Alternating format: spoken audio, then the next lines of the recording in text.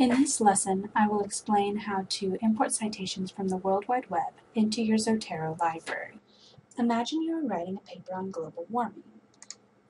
You might start with a simple Google search.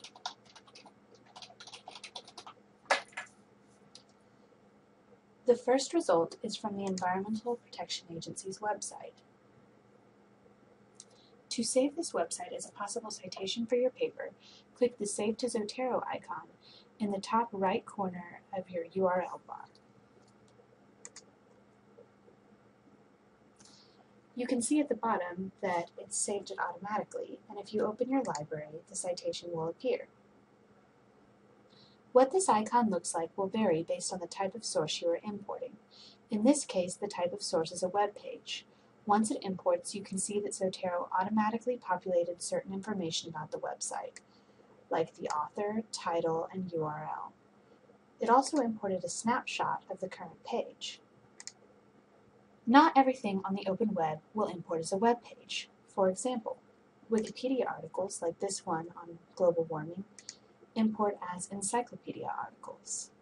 Similarly, YouTube videos have a webcam icon and import as video recordings. Flickr images have a photograph icon and import as artwork. Occasionally, you might run into a web page for which the Zotero import icon does not appear.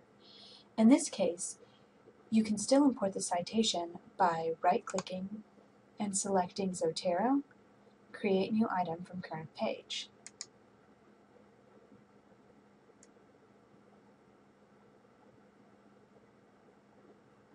Selecting the Page Plus icon will have the same effect.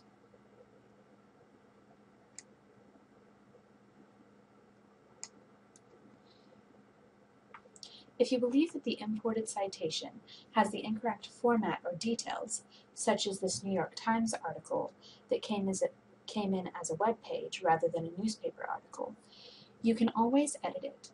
I'll go over Zotero citation editing in detail in Lesson 5. In the next lesson, I will show you how to import citations into Zotero from library databases.